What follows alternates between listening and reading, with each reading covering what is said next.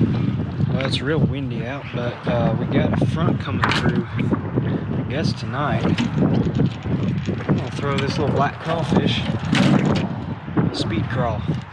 Let's just take it down to the pond here real quick and see if we can't catch a bass or two.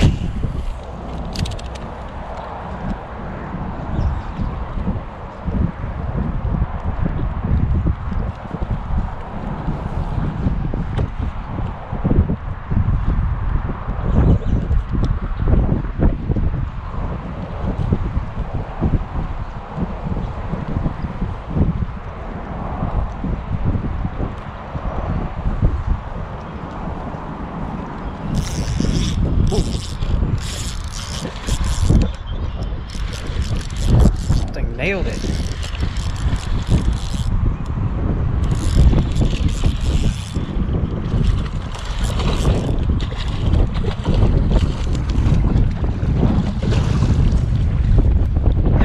That's a good fat fish there.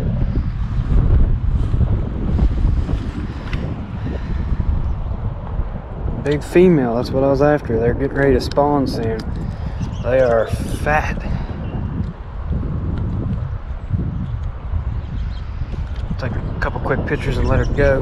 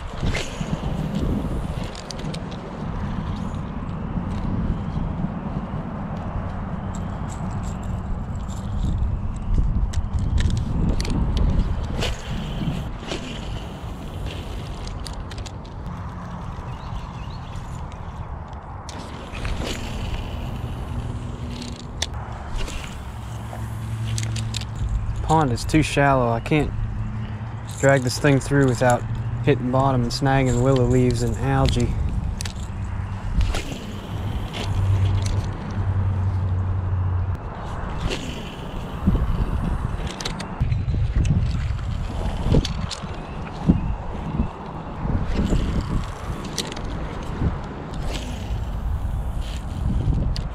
There we go.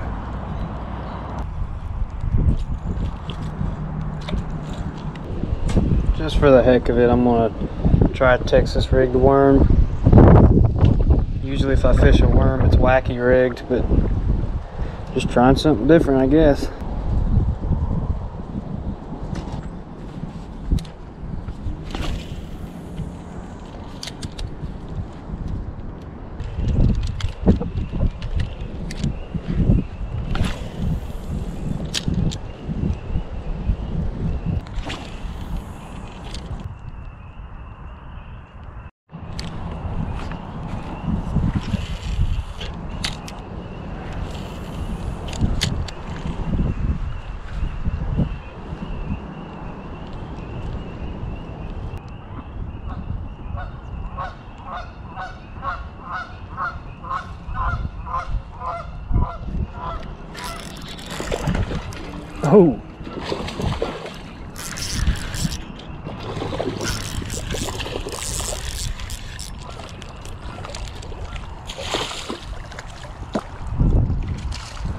Right here, shallow water.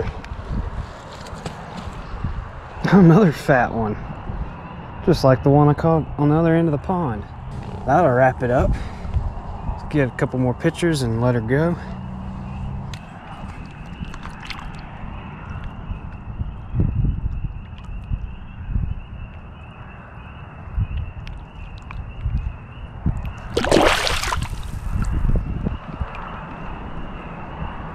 That's not too bad for a quick walk around the pond. When I moved here almost four years ago, there's nothing but bluegills in here.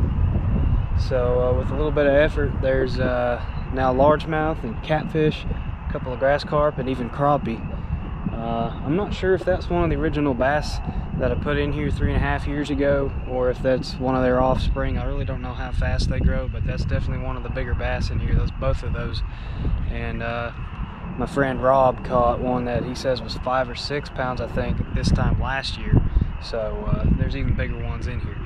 So not bad for a little bit of effort and just a few years, and we got some good bass in here.